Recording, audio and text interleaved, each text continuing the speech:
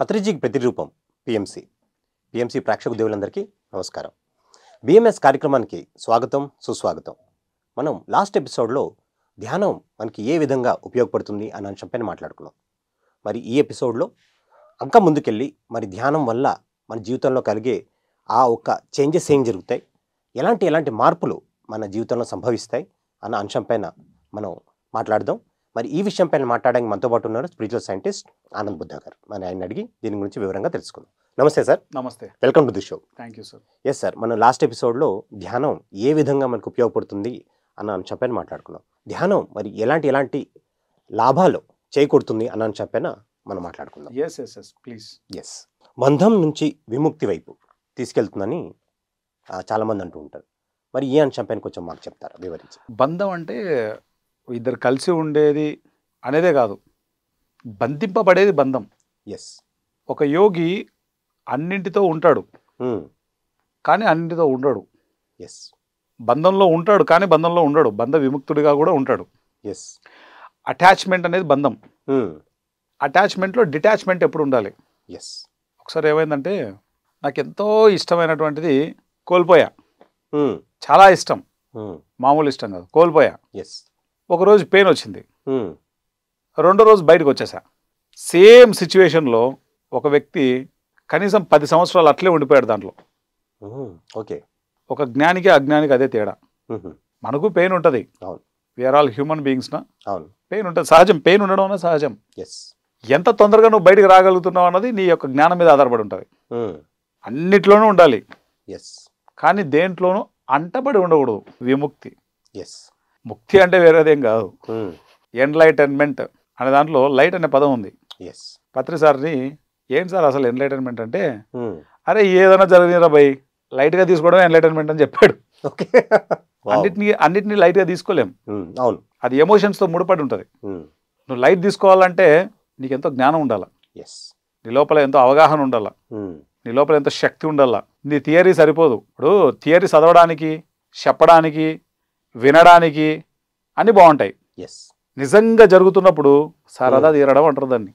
ఇంకేమంటారు? Yes అంత కష్టంగా ఉంటుంది. చాలా డిఫికల్ట్ సలహాలు ఇవన్నీ వేరే వాళ్ళకి ఇచ్చేటప్పుడు బాగానే ఉంటాయి. నిజంగా మన జీవితంలో జరుగుతున్నప్పుడు తట్టుకోలేం మనం. అది మన జ్ఞానాన్ని టెస్ట్ చేస్తుంది అప్పుడు. ఎస్ ఏముందండి? చనిపోయారు. సహజం కదండి. పుట్టినవాడు గిట్టక తప్పదు. భగవద్గీతలో చదవలేదా? నువ్వు వినలేదా? అని చెప్తాం పక్కనోడు ఎవడన్నా వాళ్ళ బంధువులు చనిపోయినప్పుడు. ఎస్ సొంత తల్లో చెల్లో ఎవరో చచ్చిపోయినారు అనుకో పక్కనోడు వచ్చి మనకు చెప్తాడు అదే విషయాన్ని. ఏముందండి ఏం పుట్టినవాడు గిట్టక తప్పదు కదా అంటే మండుతుంది లోపల. థియరీ చెప్పడానికి బాగుంటుంది. చదవడానికి బాగుంటుంది. వినిపించడానికి బాగుంటుంది వినడానికి కూడా బాగుంటుంది. లైవ్లో ఉన్నప్పుడు అసలు మనం ఏ జ్ఞాన స్థాయిలో ఉన్నో మనకు అర్థమవుతుంది. ఎస్ దేనితోనైనా సరే నువ్వు అంటబడి ఉన్నావా? అది బంధం. నువ్వు దేంట్లోనా ఉండు. దాంతో అంటబడి లేకుండా ఉన్నావా? ఎస్ నువ్వు విముక్తుడిగా ఉన్నావని అర్థం. స్వార్థం నుంచి నిస్వార్థం వైపు. ప్రకటనలు మీవి ప్రచారాలు మావి జీవితంలోని వెలుగులందరివి. పిఎంసి తెలుగు ఛానల్లో మీ యాడ్స్ కోసం సంప్రదించవలసిన ఫోన్ నంబర్స్? ధ్యానంలోకి రాకపోతే ఎవరైనా నా తల్లిదండ్రులు నా అన్నదమ్ములు నా అక్క చెల్లెళ్ళు నా బంధువులు నా భార్య ఎస్ నా పిల్లలు నా పిల్లల భవిష్యత్తు. ఈ నా అనే దాంట్లోనే వాడి జీవితం కాస్త గడిచిపోతుంది పుణ్యకాలం కాస్త పోతుంది. ఆ చట్రంలోంచి బయటికి రాలేడు. ఎస్ నేను అన్నది ఈ శరీరంతో చూసుకుంటున్నాడు కాబట్టి మూలాధార నేనది ఎస్ ఓకే నా వాళ్ళు స్వాదిష్టాన నేనది నా వాళ్ళకి అన్ని తెచ్చిపెట్టాలి నా వాళ్ళ యొక్క పేరు ప్రఖ్యాతులు నా వాళ్ళు మంచి పొజిషన్లోకి వెళ్ళాలి పవర్ మణిపూరక చక్ర అది. ఈ మూడు స్థాయిల్లోనే మనిషి నేను నేను నేను నేను అని కొట్టుకు పోతూ ఉంటాడు. కొన్ని జన్మలు పడతాయి ఈ మూడు జన్మల్లో నుంచి బయటికి రావడానికి. అంత ఈజీ కాదు అది. ఎస్ అంత ఆషమాషి విషయము కాదు. ఈ మూడు జన్మల్లోనే కొన్ని వందల జన్మలు గడుస్తాయి. ఆల్వేస్ నేను నా వాళ్ళు. నేను నా వాళ్ళు. ఏదైనా సరే ఫస్ట్ నా. ఎప్పుడైతే మనిషి ధ్యానం లేకొస్తాడో అరే ఆ ఎదురింట్లో ఉండేవాడిని వానిలో ఉండేది నేనేనా? అనవసరంగా కామెంట్స్ చేశాను. అరే పక్కింటి వాడింట్లో ఉండేది కూడా నేనేనా? వాడిని జడ్జిమెంట్ చేశాను. ఎస్ అంతటా ఉండేది నేనేనా? అయ్యా బాబోయ్! ఎంత పని అయిపోయింది ఎంత స్టూపిడ్ బిహేవ్ చేశాను నేను. తర్వాత ఏమీ చేయలేకపోయాను. అంతటా ఉన్న నా కోసము నేనేం చేసుకోలేకపోయా? ఎవరికి ధ్యానం చెప్పలేదు. జ్ఞానం ఉదయించిందో లోపల అంతా నేనే అన్నది తెలుసుకున్నాడో వెంటనే అందరికీ ధ్యాన ప్రచారం చేయడం మొదలు పెడతాడు. అందరికీ జ్ఞానం చెప్పడం మొదలు పెడతాడు. అందరి మంచి కోరుకోవడం మొదలు పెడతాడు. ఎస్. అందరికీ తను చేయగలిగిన సర్వీస్ చేయడం మొదలు పెడతాడు. ఇప్పుడు పత్రి సారు ఎప్పుడైతే తన గురించి తాను తెలుసుకున్నాడో తన వచ్చే జీతం అంతా పుస్తకాలు పుస్తకాలు పంచాడా? ఎస్ ఒక పిరమిడ్ కట్టించాడా? తన డబ్బులన్నీ ఖర్చు చేసి ధ్యాన ప్రచారం చేశాడా? చేశాడు. వెజిటేరియనిజం గురించి చెప్పాడా? ఉమ్, చెప్పారు. నెమ్మది నెమ్మదిగా ఎన్ని పిరమిడ్లు వచ్చాయి? నెమ్మది నెమ్మదిగా ఆయన ఎంత తిరగడం మొదలు పెట్టాడు ఎస్ ఎవరికైనా ఏదైనా ప్రాబ్లం ఉంటే వాళ్ళకి గైడెన్స్ ఇచ్చేవాడా? సలహాలు సూచనలు ఇచ్చేవాడా? ఎన్ని మెడిటేషన్ క్లాసెస్ పెట్టాడు ఆయన? ఎస్ ఎంత సాధన చేయించాడు మనందరితోటి? ఎన్ని పుస్తకాలు సజెస్ట్ చేశాడు మనకు? అవును. ఎంత విశేషమైన సేవ? ఉమ్, పత్రి సార్ దగ్గర ఎక్కడైనా స్వార్థం అనేది కనబడుతుందా? నిస్వార్థానికి ఒక రూపం ఇస్తే అది పత్రి సార్. ఎస్ నిస్వార్థానికి ఒక రూపం ఇస్తే అది కబీర్ గురునానక్ మహమ్మద్ ప్రవక్త జీసస్ రాంపా ఓషో ఇలా సహస్రార స్థితిలో ఉన్న మాస్టర్స్ వాళ్ళంతా. ఈ యొక్క స్వార్థం మనిషి జ్ఞానంలో ఉన్నప్పుడు ఉండేటువంటి దశ ఒకానొక దశ. కానీ క్రమక్రమంగా అజ్ఞానాన్ని కూడా ఎక్స్పీరియన్స్ చేసి జ్ఞానం వైపు వస్తుంది ఆత్మ. ఎస్ అప్పుడు ఈ అజ్ఞానం నుంచి బయటపడి నిస్వార్థం వైపు జర్నీ చేస్తారు. ఎంతో సర్వీస్ చేస్తారు. ఇప్పుడు మీరు కానీ నేను కానీ ఎంత సర్వీస్ చేస్తున్నాం? ఏం వస్తుంది సర్వీస్ చేస్తే? డబ్బులు ఇస్తారు ఎవరైనా. ఎందుకు అంత అంత చేయాల్సిన అవసరమే ఉంటుంది? ఎందుకంటే మన పర్పస్ అది. ఒకసారి మనల్ని మనం తెలుసుకున్న తర్వాత మనం దేనికోసం అయితే వచ్చామో అవి చేయకుండా ఉండలేము. అలా ఉండలేము అంతే అది. అంతే. అది దాని యొక్క స్థితి అది. అన్ని ఉన్నా మా ఇంటి దగ్గర ఉండలేను అని నేను. ఉండలేము అంతే అక్కడ అక్కడ. పని లేదు. పత్రి సారు ఒక చోట పని అయిపోయిందంటే క్షణం ఆగకూడదని చెప్తాడు. వెళ్ళిపోవాలా? ఫస్ట్ నెక్స్ట్ ప్లేస్లోకి వెళ్ళిపోవాలా? పని అయిపోయిన తర్వాత ఉండకూడదు అంతే అది పాలసీ మ్యాటర్ అది. పని అయిపోయిందో అది వదిలి వదిలేయాలి అంతే అక్కడ. వెళ్ళిపోవాలి అంతే. అంత వర్క్ చేశారు ఆయన. స్వార్థం అనేది ఎక్కడుంది? తన బిడ్డలకి ఏం సంపాదించి పెట్టాడు మేడంకి ఏం సంపాదించి పెట్టాడు ఆయన తన కోసం ఏం సంపాదించుకున్నాడు? ఎస్ తను ఏదైనా సంపాదించాడంటే మనల్ని అందరినీ సంపాదించాడు.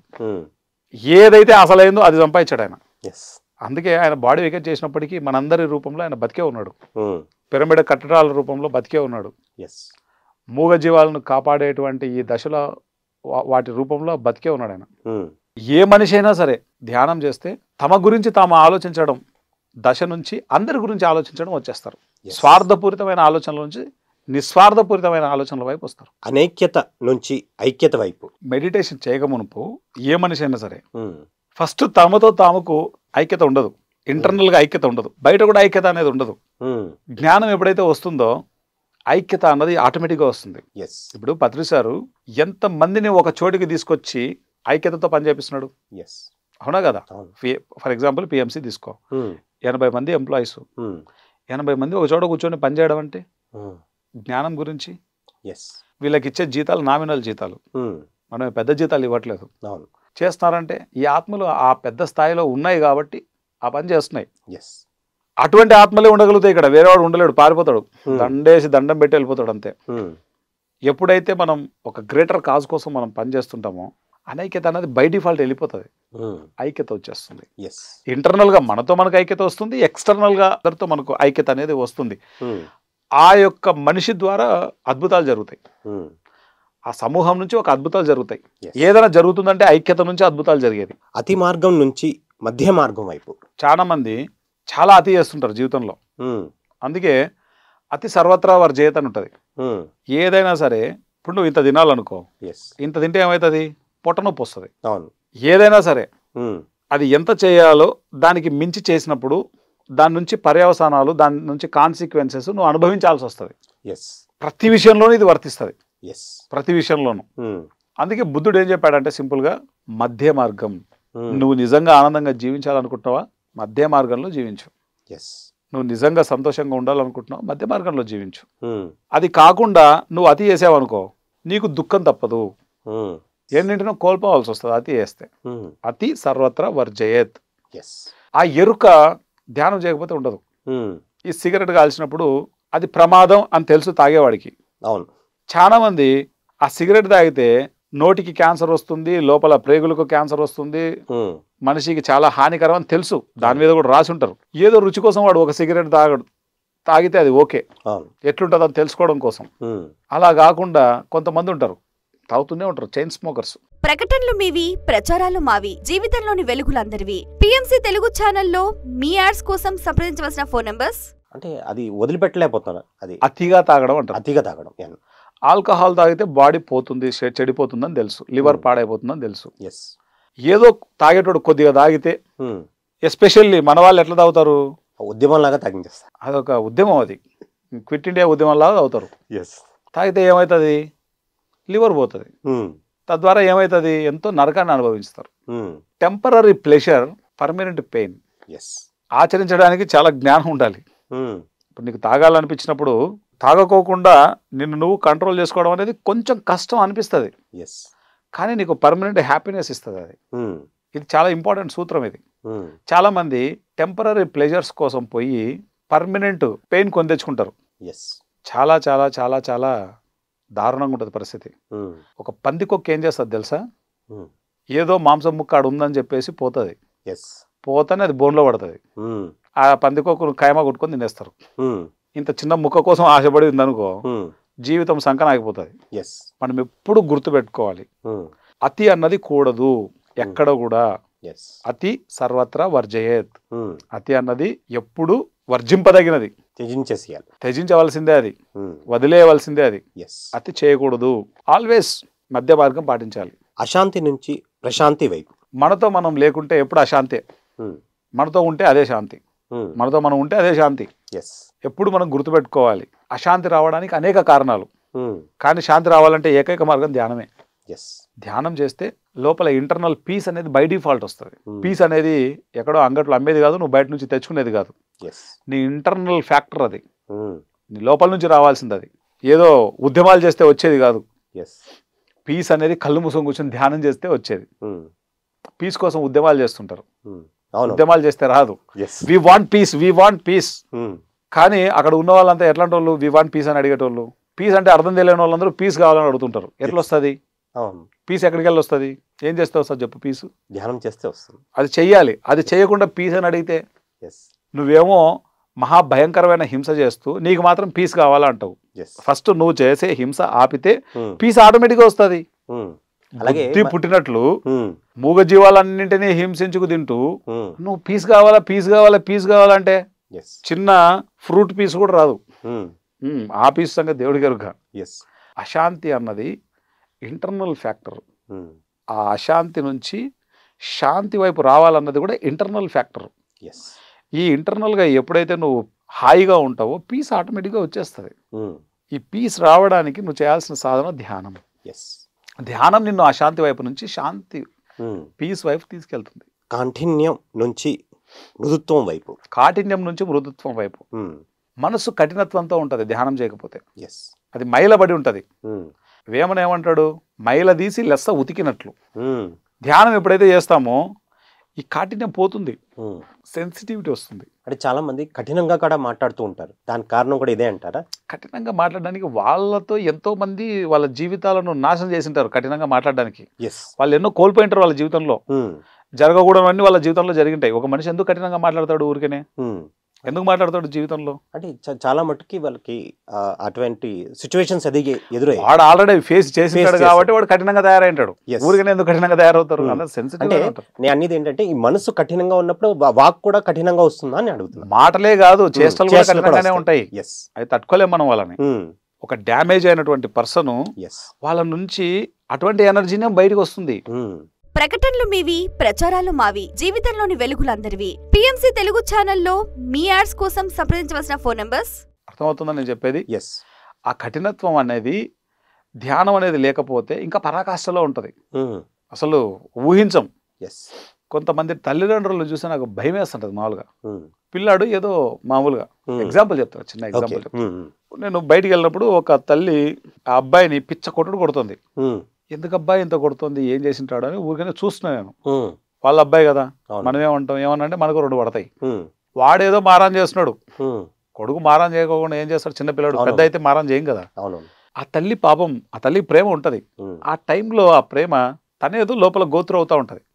ఇప్పుడు ఏమైపోతుందంటే లోపల కఠినత్వం ఉన్నప్పుడు బయటికి కూడా అదే ప్రదర్శిస్తారు. తర్వాత ఎక్కడెక్కడో చూపించాల్సిన కోపాలన్నీ ఇంకో చోట చూపిస్తూ ఉంటారు. అసలు ఆ పిల్లాడికి ఏం సంబంధం లేదు. ఉతికి పడేస్తూ ఉంటారు. ఇది మనం కూడా ఏం చెప్పలేని పరిస్థితి. ఇంటర్నల్ సాఫ్ట్వేర్ సెన్సిటివ్గా ఉంటే బయట వాళ్ళ బిహేవియర్ కూడా సెన్సిటివ్గా ఉంటుంది. Hmm. ఇంటర్నల్ సాఫ్ట్వేర్ దెబ్బతిందనుకో బయటికి కఠినత్వం వస్తుంది. ఎస్ ఇప్పుడు ఒక మనిషి జీవితము చిత్రమైంది. ఎన్ని ఉంటాయో తెలియదు ఎవడు బయటకు చెప్పుకోడు. ఇది Hmm. నేను అని. వాడి జీవితంలో ఎన్ని జరగరాని జరుగుతాయో తెలియదు ఇప్పుడు ఈవెన్ మీరు ఉన్నారు మీ జీవితంలో జరిగిన ప్రతిదీ మీరు బయటకు చెప్పగలరా? చెప్పలేం ఎందుకు చెప్పలేవు? అంటే కొన్ని కోణాలు ఉంటాయి అది మొత్తం ప్రపంచం అందరికి ఇక్కడ చెప్పాలని అనుకోను. నువ్వు అడుకోవడం కాదు చెప్పలేవంతే లేవు. నువ్వు. అవును కరెక్టే. చెప్పుకునే పరిస్థితిలో ఉండవు. ఎస్ కాబట్టి లోపల తెలియకుండానే కొన్ని గూడు కట్టుకుపోయి ఉంటాయి. దానివల్ల ఏమవుతుంది దాని ప్రాబ్లమ్స్లో దాని యొక్క ఎనర్జీ మన మీద పనిచేస్తుంటుంది. ఎస్ దాని ఆ థాట్స్ యొక్క ప్రభావం మన మీద ఉంటుంది. ఆ ఎమోషన్స్ ప్రభావం మన మీద ఉంటుంది. అందుకే మనం ఇలా ఉంటాం. ధ్యానం ఏం చేస్తుందంటే వీటన్నింటి నుంచి మనల్ని బయటికి తీసుకొచ్చేస్తుంది. అవును. ఈ కాఠిన్యం నుంచి పూర్తిగా ఇటువంటి ఈ ఈ పనికిరాని ఎమోషన్స్ పనికిరాని థాట్స్ పనికిరాని మాటలు పనికిరాని చేష్టలు ఉమ్, ప్రతి పనికిరాని దాని నుంచి ఆ కాఠిన్యత్వం నుంచి మృదుత్వం వైపు తీసుకొచ్చేస్తుంది. ఎస్ సెన్సిటివిటీ బై డిఫాల్ట్ వస్తుంది మెడిటేటర్ ఒక మెడిటేటర్ ఎప్పుడు హైలీ సెన్సిటివ్గా ఉంటాడు. అట్ ది సేమ్ టైం తేడా వస్తే దుర్వాస మహర్షి కూడా అవుతాడు. అది వేరే విషయం. కాకపోతే హైలీ సెన్సిటివ్ ఉంటుంది పత్రి సార్ ఎంత సెన్సిటివ్ తెలుసా? పైకి కఠినత్వం ఉంటుంది అంతే ఉమ్, భూమండలం మీద అత్యంత సెన్సిటివ్ పర్సన్ ఎవరంటే పత్రి సారే. ఎస్ ఆయన బాడీ సెన్సిటివ్ ఆయన మనస్సు సెన్సిటివ్ ఆయన బుద్ధి పరమ సెన్సిటివ్ ఉమ్, ఆత్మ ఇంకా సెన్సిటివ్ అది. పరమ ఆత్మ ఉమ్, ఎంత కరుణ. యాక్చువల్గా బాడీ మేల్ సారది. ఉమ్, లోపల ఉన్నదంతా ఒక ఆది పరాశక్తే. ఒక మాతృత్వం ఉంటుంది సార్ దగ్గర. దివ్యమైన మాతృత్వం ఉంటుంది. ధ్యానం ఎంత విశేషంగా ఉంటే ఆ దివ్యమైన మాతృత్వం అంత అద్భుతంగా వస్తుంది. ఇంట్లో కూడా ఒక్కొక్కసారి సోహం ఉన్నాడు. పిల్లాడిని ఎప్పుడన్నా అరిచింది అనుకో ఉమ్, పూనం. అంటే ఎక్కువ తనే కదా టైం స్పెండ్ చేస్తుంది. నేనేముంది ఆఫీస్కి వస్తుంటా. ఎక్కువ టైం తనే కాబట్టి స్పెండ్ చేసేది. అప్పుడప్పుడు సీరియస్ అవుతుంటుంది. నేను వెంటనే చెప్తాను తనకి. అప్పుడు కాకుండా తర్వాత నెమ్మదిగా పిలుచుకొని ఎక్కడ ట్రిగ్గర్ అవుతున్నావు ఒకసారి చెక్ చేసుకో నువ్వు అని చెప్తాను. ఓకే. ఇప్పుడు నువ్వు అరిచావు అనుకో ఆ సాఫ్ట్వేర్ ఆ విధంగా డిజైన్ చేయబడుతుంది. పిల్లాడిలో ఉన్న సెన్సిటివిటీ పోతుంది. ప్రేమగా చెప్పు. ఎస్ కమ్యూనికేట్ ప్రేమగా చేయి. ప్రాణం పోయినా పిల్లాడిని అరవకూడదు తిట్టకూడదు కొట్టకూడదు. పిల్లాడికి మనం ఇవ్వగలిగే బెస్ట్ మనం ఇవ్వాలి? ఎస్ నువ్వు చెప్పలేని పరిస్థితి ఉంటే కామ్గా ఉండాలి తప్పితే పిల్లాడిని ఎప్పుడు చేయి చేసుకోకూడదు. ఎందుకంటే ఒక్కసారి ఇంప్రెషన్ ఏర్పడింది అనుకో ఆ ఇంప్రెషన్ వాళ్ళు చచ్చిపోయే వరకు క్యారీ చేస్తారు అది. చిన్నప్పుడు ఇంప్రెషన్స్ చాలా ఇంపార్టెంట్ ఎప్పుడు కూడా. ఎస్ అందుకే ఓషే ఏమంటాడంటే నువ్వు గనక జ్ఞానివి కాకపోతే అసలు పెళ్ళి చేసుకోవద్దని చెప్తాడు. పెళ్ళి చేసుకుంటే ఏమవుతుంది పెటాకులు అవుతుంది అంతే కొట్టుకొని చచ్చిపోతారు ఇద్దరికిద్దరు. ఎస్ నువ్వు గనక కంప్లీట్ ఎన్లైటన్మెంట్ అవ్వకపోతే ఆత్మజ్ఞానివి కాకపోతే నువ్వు దయచేసి పిల్లల్ని కనొద్దంటాడు. ఎందుకు? నీ కాఠిన్యం అంతా ఆ పిల్లల మీద చూపిస్తే ఆ పిల్లలు రేపొద్దున రాక్షసుల్లాగా తయారవుతారు ఆ పిల్లలు ఆ దైవత్వంతో ఉండాలి అంటే కనుక నీ లోపల ఫస్ట్ దైవత్వాన్ని నువ్వు తెలుసుకోవాలా? ఎస్ ధ్యానం చేస్తే కాఠిన్యత్వం నుంచి మనం అద్భుతమైనటువంటి మృదుత్వం వైపు మనం వెళ్ళిపోతాం. ఎస్ ఆనంద్ గారు. మరి ధ్యానంలో మరి ఎలాంటి ఎలాంటి కోణాలు ఉంటాయి మరి ఎలాంటి ఎలాంటి ఆ నెగిటివ్ ఇమోషన్స్ నుంచి నెగిటివ్ యాక్టివిటీస్ నుంచి పాజిటివ్ వైపు ఎలా రావచ్చు ధ్యానం ద్వారా అన్నది చాలా విపులీకరించి చెప్పారు ఈ ఎపిసోడ్లో మరి ఇంత జ్ఞానం వచ్చినందుకు మీకు ఎంతో కృతజ్ఞతలు. Thank you sir thank you very much so ఇదండి ఇవాళ బిఎంఎస్ ఎపిసోడ్ ఇంకొక ఎపిసోడ్ మళ్ళీ కలుసుకుందాం. అంతవరకు సెలవు.